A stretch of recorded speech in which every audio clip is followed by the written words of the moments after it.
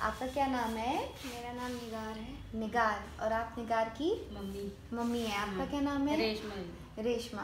रेशमा निगार को क्या एज क्या है अभी इस समय उम्र? सत्रह साल है सेवनटीन ईयर्स की है निगार। निगार को क्या शिकायत थी रेशमा? इनको पीरियड नहीं हुआ था। अभी सोलह साल तक तो बिल्कुल ही कुछ नहीं हुआ। जी। इलाज कराया। जी जी। एलोपैथिक हाँ। जगह में इलाज कराया इलाज कराया वहाँ जी जी। फिर उन्होंने दो तीन महीने दवा खिला के फिर ये कहा कि ऑपरेशन होगा और इसमें कोई फ़ायदा नहीं हुआ इन्हें वहाँ से। अच्छा उन्होंने दवाइयाँ दी हाँ। और दवाइयाँ भी और रिपोर्टें वगैरह भी थोड़ी कराई वहाँ जांची जाँचें कराई और सात मई को हम्म। सात मई 2018 की बात है कि उन्होंने जाँच कराई थी बच्चे की तो उन्होंने इसमें लिख दिया था हेमेटोकॉल्पस है हेमेटोकॉल्पस मतलब मेंस्ट्रुअल ब्लड हम्म। अंदर ही अटक गया है। हम्म। ये यूजुअली हाइमन ना टूटने की वजह से लड़कियों का रुक जाता है। ये कोई कई बार ऐसा हो जाता है कई लड़कियों में जो पहली पहली बार ब्लीडिंग आनी ही नहीं हो पाती है। तब निगार सोलह साल की थी है ना? अभी अभी सत्रह की हुई है। हम्म। ठीक है। तो सात मई 2018 में ये रिपोर्ट आई रिपोर्ट आई है। फिर उन्होंने इस रिपोर्ट के आधार पे आप लोगों को ऑपरेशन के लिए बता दिया। ऑपरेशन से वो सफ़ाई करके फिर सफ़ाई ठीक करेंगे। हाँ, ठीक करेंगे। फिर आप लोगों ने क्या किया? फिर हम लोग हमारे भाई ने हमें बताया कि ऑपरेशन से अच्छा है बचना है तो वहाँ चले जाओ। उनका भी इलाज चल रहा है यहाँ पे।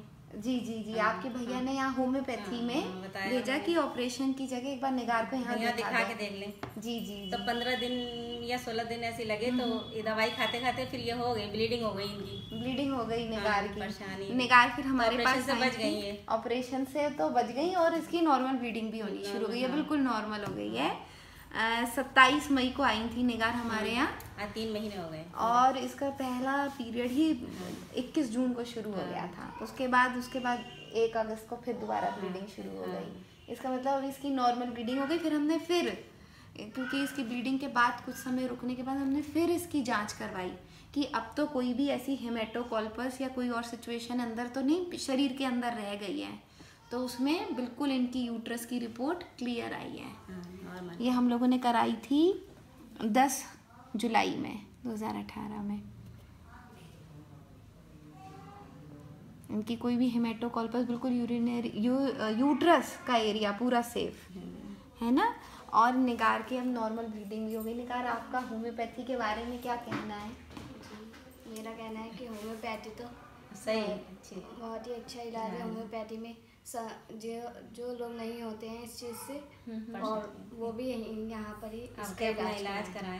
हाँ। हाँ। आप ऑपरेशन से भी बच गई ऑपरेशन निगार से ही बच गई, है ना हाँ। छोटी सी उम्र थी और ठीक है ये वैसे उनकी भी गलती नहीं है। एलोपैथिक में इसको कहा जाता है ये ऑपरेशन वाला ही केस हाँ। होता है। ये उन्होंने नहीं कहीं पे भी हाँ, मेडिकल हाँ। कहीं भी जाते हैं आप एलोपैथिक में हाँ, तो- किसी भी हॉस्पिटल में जाते हैं तो वो यही इसका सोल्यूशन होता है क्योंकि दवा भी वो खिला चुके थे। हम्म, फिर भी उन्हें कोई रिज़ल्ट नहीं आया और हेमेटोकॉल्पस जैसी सिचुएशन आ रही है तो उनके पास अब यही कहानी होती है।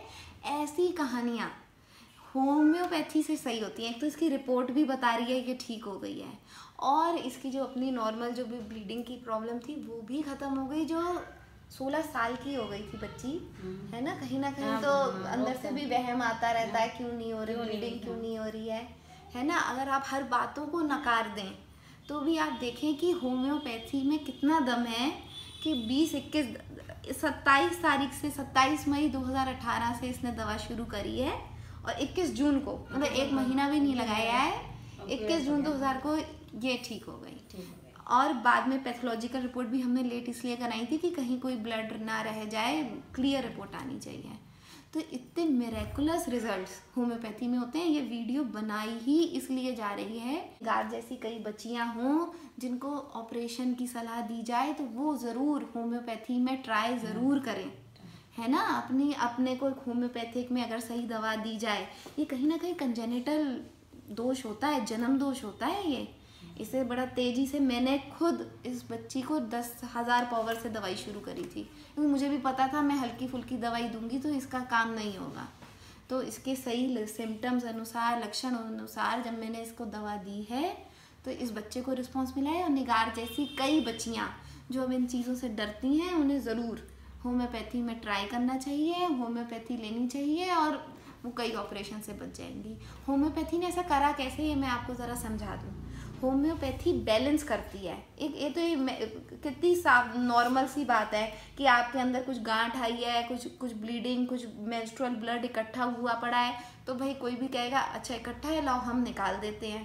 यहाँ तक थी एलोपैथी। कितनी कॉमन सेंस वाली बात करी। लेकिन होम्योपैथी में क्या हुआ?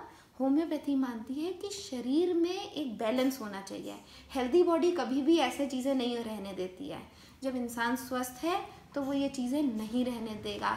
एक स्वस्थ इंसान की हाइमन इम्परफरेट नहीं होती है, वो नॉर्मली टूट जानी चाहिए। और वही हमने निगार के साथ करा।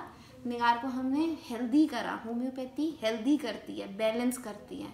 जैसे ही इसकी बॉडी वापस से हेल्दी हुई यूट्रस हेल्दी हुआ, इसके अंदर से अंदर से इंटरनल हेल्थ आ गई, जो होम्योपैथी जड़ों पे असर करती है, ये होती है जड़। आप आप देख सकते हो कितनी गहरी जड़ है होम्योपैथी की। तो जैसे ही ये बच्ची हेल्दी हुई है, इसकी ब्लीडिंग शुरू हो गई, ये नॉर्मल हो गई ये बच्ची, है ना? निगार आपको बहुत बहुत बहुत बधाई। आप अपने पे तो आपने अच्छा करा और आप कई अब सारी बच्चियों के लिए मिसाल बनेगी। है ना? क्योंकि उन्हें भी ये लगेगा अगर निगार सही हो सकती है तो हम क्यों नहीं? है। ना? और हमने भी आपको जो सही करा है ये हम जी होम्योपैथिक स्टूडेंट से हम यही कहेंगे कि आप लोग भी खूब अच्छे से ध्यान दें और देखें अगर ये सब बीमारियाँ ठीक होती हैं ठीक है? कभी भी कभी केस फॉरवर्ड नहीं करें। आपके पास एक मिसाल आया है तो आप भी कर सकते हैं। ठीक है? ठीक है आपको कुछ कहना है होम्योपैथी के बारे में आप बताएँ? नहीं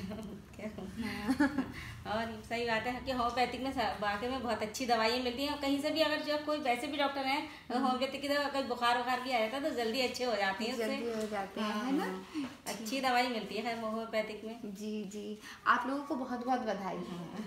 आपने तो बहुत तो मेहनत करी है रिसर्च हाँ, की है नहीं नहीं बहुत अच्छी बात है। ठीक है नमस्ते। नमस्ते।